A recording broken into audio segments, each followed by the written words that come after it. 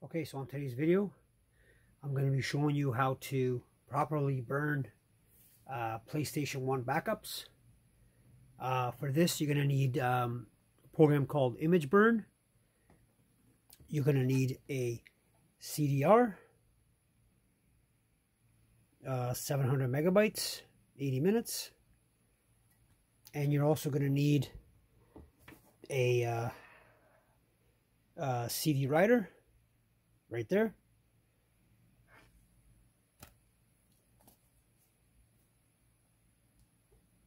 And you will also need a bin and cue uh, ISO file.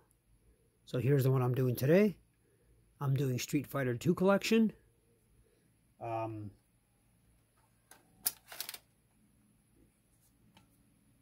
so now we'll open up we'll open up ImgBurn.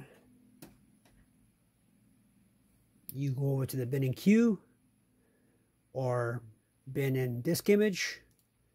Uh, you right click, open with, ImgBurn the ultimate image burner. Open that up. There you go. So it'll automatically uh, read your CD burner if you only have one. Um, the write speed, just leave it AWS. And then copies, one, if that's all you want. Um, and then just uh, hit this button on the right. And uh, it'll probably take between 5 to 10 minutes each one. Uh, now we'll get over and uh, we'll see if the game works. Okay, so now over on the uh, PS1, take your uh, game disc that you burned, put it in the PS1. Make sure that your PlayStation 1 has a mod chip or this will not work. Power it on.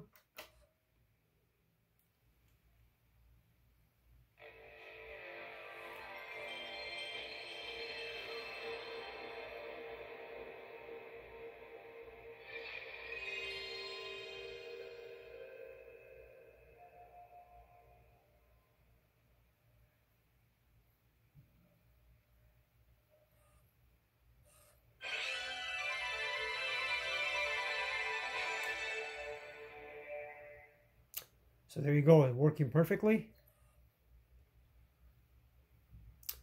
Never had an issue of ripping games.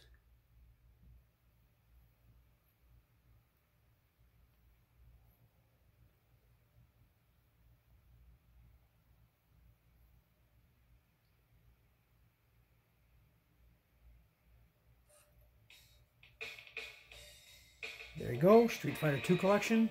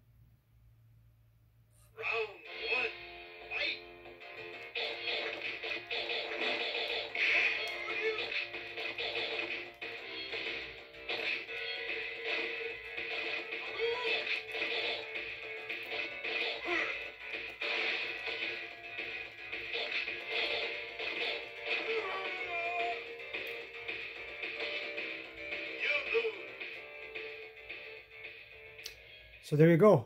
Um, I will end the video here. Um, I hope you enjoyed the video. Please like, comment, and subscribe. And on to the next one.